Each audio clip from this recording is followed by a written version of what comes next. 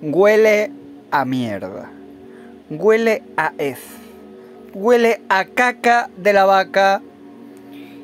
Y esto es sin tener en cuenta todos los antecedentes que hemos estado viendo hasta ahora mismo, los gameplay filtrados que hemos visto, sin tener en cuenta nada de eso y de qué cosa que compra Microsoft y lo toca es mierda de vertedero, sin tener nada en cuenta del pasado, nos remontamos a hace un par de añitos, cómo olía de mierda el cibertruño. Prometiendo mucho, luego poquito de antes del lanzamiento, pero es que, bro, lo que pasa, bro, señores. Aquí no extrañaremos de que no tengo abierto Twitter. En este momento está petado Twitter. No sé qué es lo que pasa. A lo mejor ya está solucionado. Bueno. Tenía en Twitter un recopilatorio de revistas y medios de videojuegos que han pedido su copia de review de este videojuego y no les han contestado o han dicho que sí, que ya se las darán, esperando al día en que termina mm, precisamente la retenida de los reviews para que no dé tiempo. Para que no dé tiempo, señores. Se han filtrado juegos importantes, su historia completa, se han filtrado los juegos. Y no ha habido una persecución, señores. Es que imaginaros cómo tiene que ser Xbox ha estado borrando, cerrando cuentas de Twitter, vídeos de Twitch, de YouTube a cualquier persona que enseñara el Starfire. Eso no lo ha hecho Microsoft nunca porque son tan vagos que ni para eso valen. Esto huele a más mierda de lo que podíamos imaginar. Ya pasó con el Cibertruño 2088 por el Club del Antocho. Esto olía ya mierda y lo sabíamos. Y lo hemos visto, pero puede ser aún peor. Microsoft prohibiendo que haya cualquier imagen del juego de manera más inquisitiva que Nintendo. No le ha dado a un montón de medios que lo tengo en Twitter, el que lo quiera, ahora a ver si está ya el Twitter bien y que se meta en mi Twitter y que vea hilo hilo que son un montón de gente de medios quejándose. Solamente los medios afines a Xbox tienen su copita de mierda de este videojuego. Huele a ez fecal. Huele a ez fecal. Y esta imagen que vemos aquí, olvidaros de esto, ¿eh? Falta muy poco para que se libere el embargo definitivo de Starfield. Juego que es... Tontería.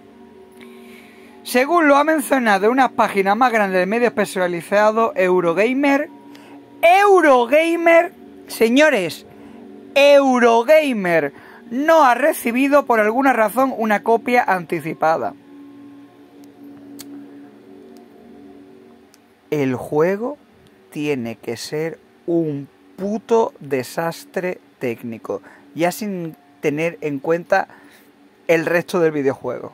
Ya directamente el rendimiento del videojuego. Eurogamer. Como saben que antes del lanzamiento iban a tener los números.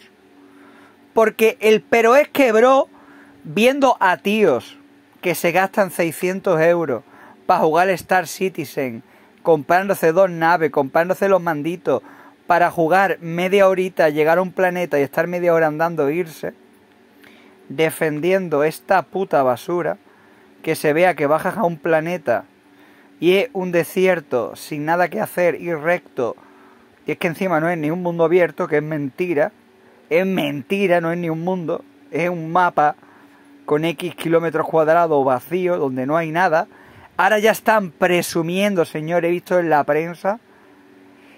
Starfile será un juego increíble para los modders.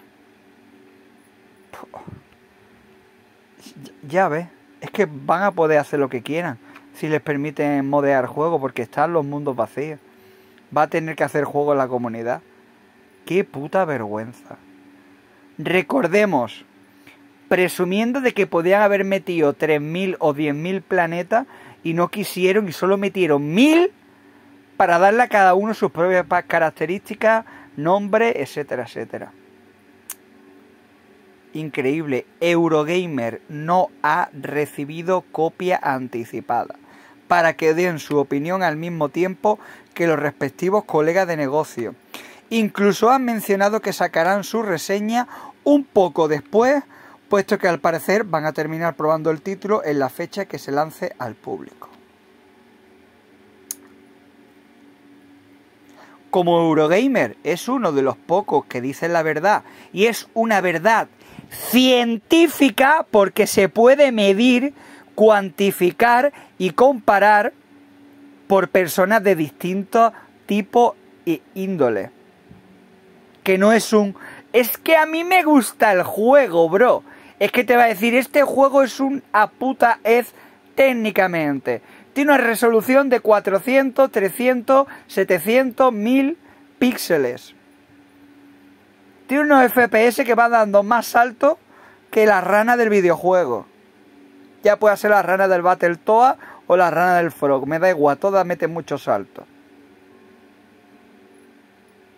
Me parece increíble, me parece increíble. Y los pilerdos sin tocar juego.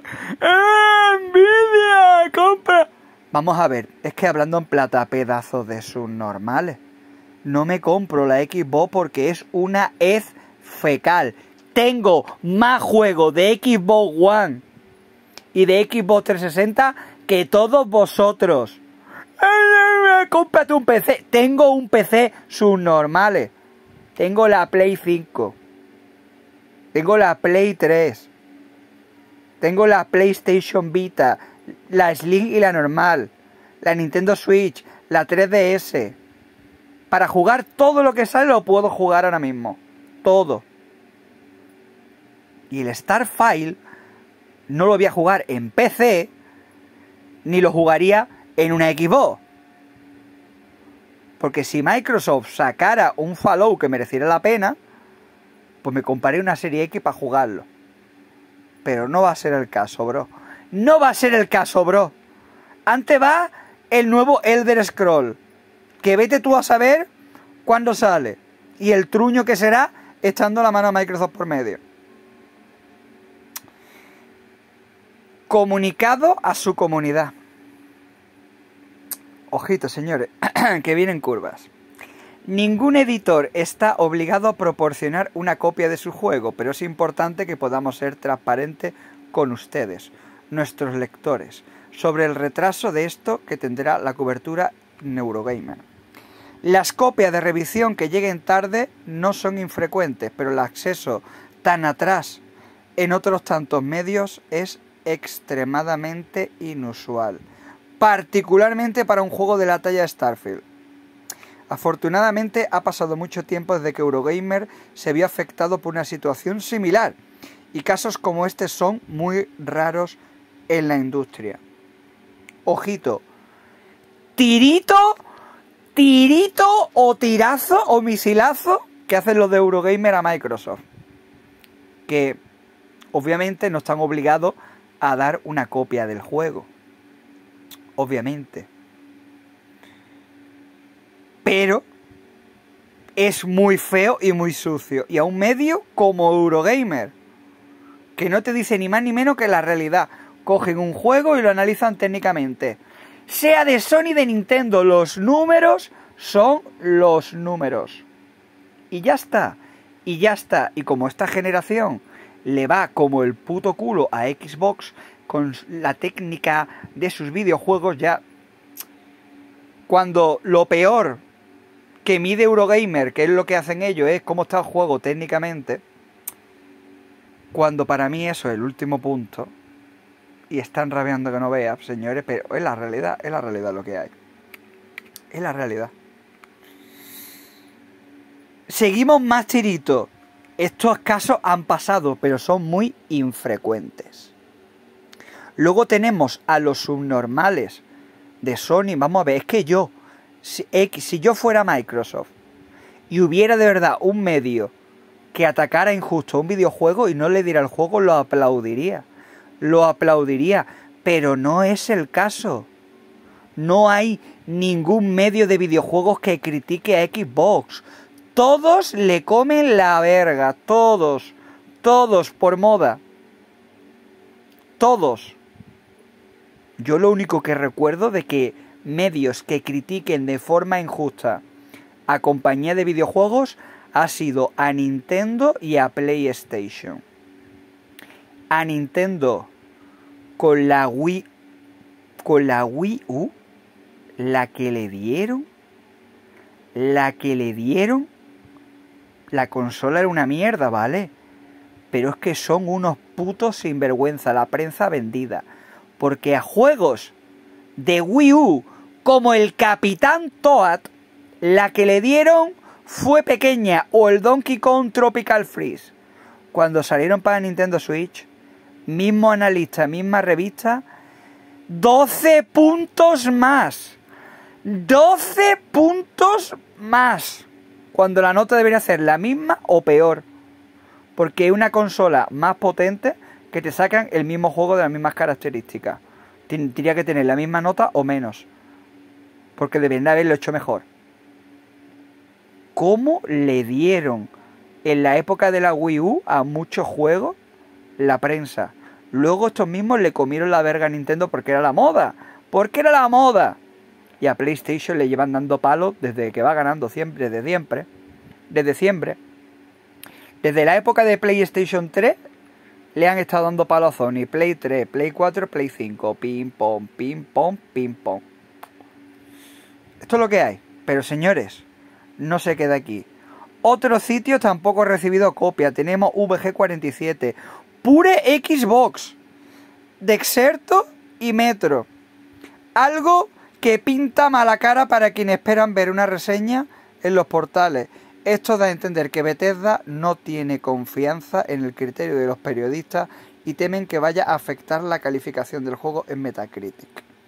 Aunque no hay que sacar conclusiones con tanta antelación. No perdona. Esto no es que confíen en los periodistas.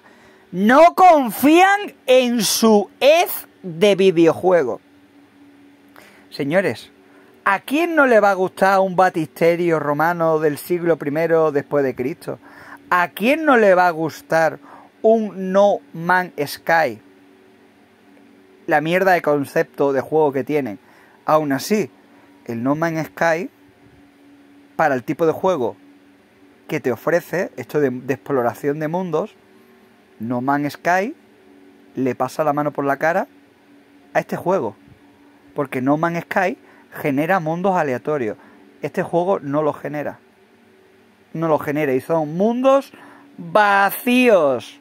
Vacíos, pero lo peor de todo que copian el concepto de un juego criticado y encima te lo hace Bethesda. Te lo hace Bethesda. ¿Qué puede salir mal de un juego que la historia no va a ser lo importante, ni la ambientación ni la trama, que es lo que a la gente le gusta del Skyrim o del Fallout en mi caso. Me encanta Fallout, ¿por qué? Y el Skyrim me pareció una puta mierda. ¿Por qué si es lo mismo tipo de, de adset, de motor gráfico? Porque es la historia. Fallout es la historia y la historia no lo inventaron ellos, lo tenían de antes. La tenían de antes. ¿Qué es lo peor? La jugabilidad de mierda, los glitches que tienen, cómo te cuentan las historias super cutre. Lo peor de todo, el motor gráfico, sus juegos rotísimos. ¿Qué nos podemos esperar de un juego que el concepto es una mierda y está peor implementado que la copia, que es No Man's Sky, que es el original? ¿Qué podemos esperar de un No Man's Sky hecho por Bethesda? un puto desastre va a salir. Esto va a ser una puta es de videojuego. Y lo que va a pasar es que los primeros días va a tener más nota de lo que va a tener el videojuego porque Porque esto está, esto está todo pensado, señores. Esta gente le ha dado la copia a los que son unos lacayos y le dan 100 a sus videojuegos. Le dan 100 a sus videojuegos. Y son cuatro gatos, cuatro canta mañana. Entonces este juego va a salir los cuatro primeros días, primera semana, y a lo mejor va a tener un 87, un 90 de nota. Y cuando pase una semana, todos estos medios que son más imparciales van a poner las notas y le va a bajar toda la media a, sus a sus famosos amarillos 77, 74, 76. Y entonces Microsoft y toda esta gente dirá, es que nos han castigado y nos han dado mala nota por no haberles dado el juego antes. Es que va a pasar eso. Y entre esa excusita de mierda que se han preparado, señores, vamos a ver, vamos a ver, son americanos, son americanos, son Cuba, son Cuba, son cogiendo su propio barco, reventando el barco y echando la culpa a España para apropiarse de Cuba. Esto lo han hecho a lo largo de la poca historia que tiene Estados Unidos un montón de veces. Esto lo hicieron en Vietnam. Esto lo hicieron en Vietnam en plena Guerra Fría, mandando a un montón de oficiales para preparar al ejército de Vietnam del Sur para atacar a los del norte. Mientras no, nosotros somos neutrales, nosotros no hemos entrado. Y fingir que atacaron una barquita ya cuando ellos ya tenían ya el terreno medio hecho, es que no han atacado una barquita, entramos con todo el ejército en Vietnam. Esto es lo que está haciendo Microsoft. Se está marcando un Estados Unidos. Mi producto es una mierda. Lo que voy a hacer es, como tengo esta fanboys de mierda que tengo, que me va a cubrir las espaldas, no les voy a dar el juego a la prensa, que sé que es crítica. Van a publicar las primeras notas en los primeros días, que es lo más importante de venta de un juego. Y en los primeros días van a salir todos los calvos que hay de videojuegos, Sassel y gente como Sassel, porque Sassel es una copia de otros youtubers que hay en Estados Unidos, que son unos mamers de Xbox que no vea como la maman entera, la maman entera, señores. Todos esos youtubers van a hacer un día o dos días directos del juego diciendo que es increíble, que es fantástico. Las notas de Metacritic van a ser las más altas porque se lo han dado los medios afines a ellos. Y cuando pase una semana y esta gente publique su análisis diciendo que el juego es una puta mierda, pues ya tienen la excusita de que esto es una venganza, esto es injusto, ya tienen la campaña preparada, el Calvo y compañía ya tienen su campaña preparada para cuando una semana más tarde salgan las notas malas de esta basura de videojuego. Es que señores, es que no hay que ser muy listos viendo la mierda que se viene, como pasó con el cibertruño. Yo es que lo sabía.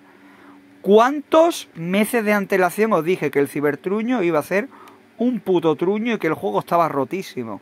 Ese juego estaba rotísimo y se sabía. Y yo lo dije, lo dije. Y no me equivoqué, no me equivoqué. Pocas veces me he equivocado las cosas que he dicho yo en mi canal. Pocas veces. Nos vemos, señores, no me enrollo más.